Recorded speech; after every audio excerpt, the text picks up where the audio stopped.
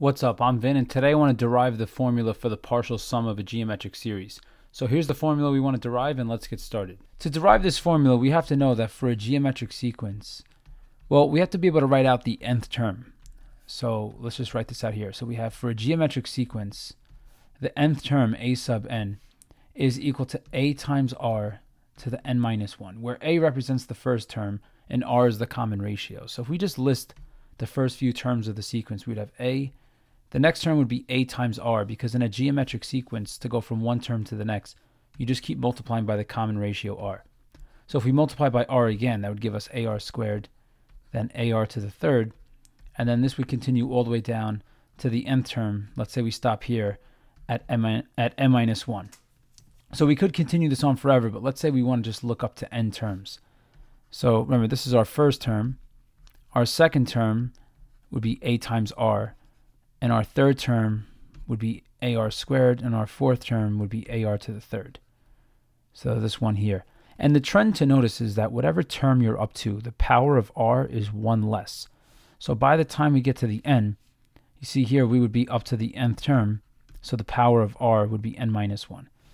So then when we want to find a formula for s sub n, s sub n is the partial sum of the first n terms. So that means we have to take the first n terms of our geometric sequence and add them together. So we'd have a plus ar plus ar squared plus ar to the third plus, and this would go all the way on to the end, to ar to the n minus 1. So to come up with the formula from the previous screen, what we want to do is we want to multiply everything here by r.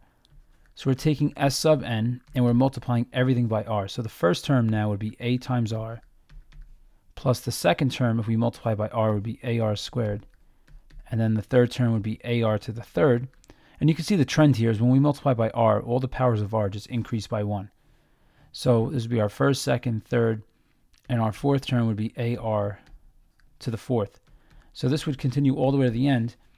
And this time our series would end at ar to the n power.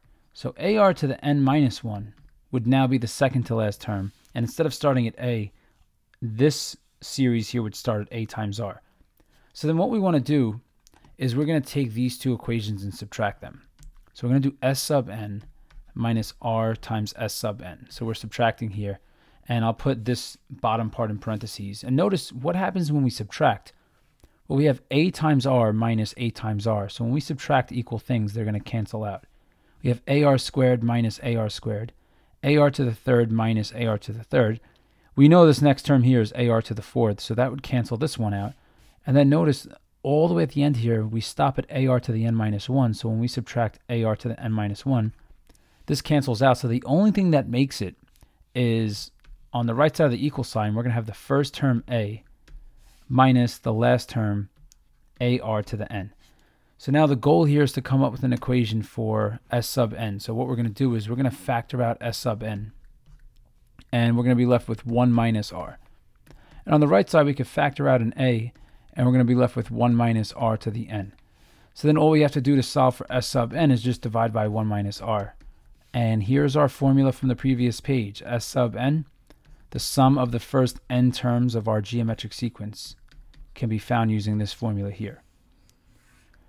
Okay, well this is going to conclude this video on deriving the formula for the partial sums of a geometric sequence. If this video was helpful, please like and subscribe. It really helps me grow the channel, and if you got any requests, just leave the topics you want me to cover in the comments section below. And thanks for watching.